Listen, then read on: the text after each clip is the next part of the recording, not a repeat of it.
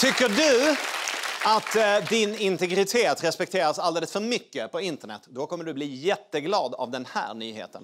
Polisen och Säpo ska nu kunna installera programvara som spionerar på brottsmisstänktas datorer, surfplattor och telefoner i syfte att kunna förhindra allvarliga brott. Ja, polisen ska få utökade befogenheter, det låter väl bra. De har ju länge kunnat avlyssna telefoner, så då ska de väl kunna avlyssna Facetime också, eller eh, Kry. Många kriminella kupper planeras via Kry, tror jag. Men alla tycker inte att det här är en bra idé. Polisen som myndighet saknar en IT-kompetens. Jag tycker man ska börja där istället. Wow! Shots fired! Myndighet som saknar IT-kompetens. Bam! Var fick hon det ifrån? Hon syftar väl inte bara på att poliser är svinjobbiga på sociala medier? Nej, hon syftar på det här. Men SVT kan nu avslöja att en privatperson i Sverige via felskickade polismail har kommit över sekretessbelagda dokument om hur EUs gräns ska bevakas.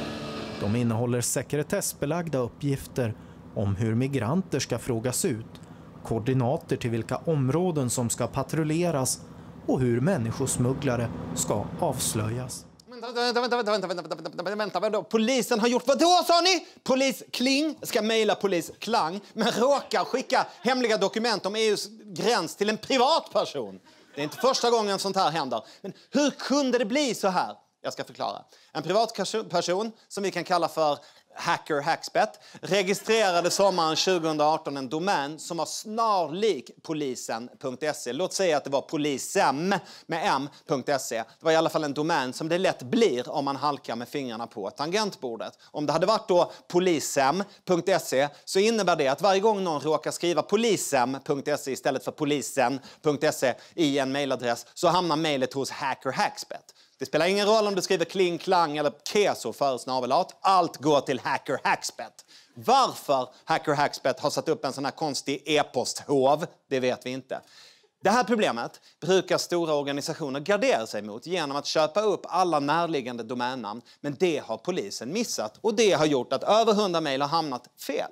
Förutom sådana här nesliga misstag som att råka offentliggöra sin flyktingsmugglarspanarplan för hela EU har det också lett till såna här otrivsamma felskick. När hon sökte om kontaktförbud mot en man som hon anmält för dödshot skickade polisen information om hennes fall till fel mottagare. Jag känner mig förbannad. Jag menar, man är redan i ett sånt jobbigt läge när man ska behöva göra en sån grej. Och då tycker jag verkligen att det är polisens uppgift att hantera det på rätt sätt. Det här är naturligtvis jätteallvarligt. Polisen är ju sämre på att hantera IT än vad Björn Hellberg är på att hantera lera. Nej, det är... Ah! Det blir inget. Du...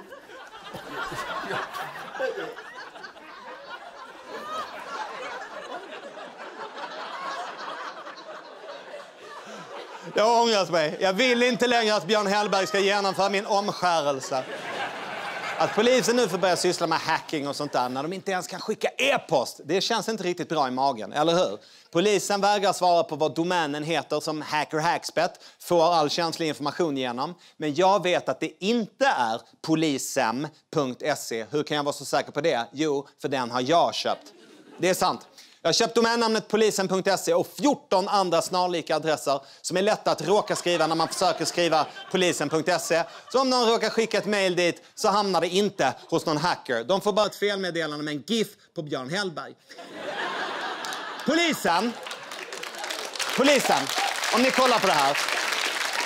Polisen, om ni vill ta över de här domänerna så får ni dem allihopa gratis. Det enda ni behöver göra är att mejla till jag jobbar att myndighet utan it-kompetens.se är också med. Se det som en övning.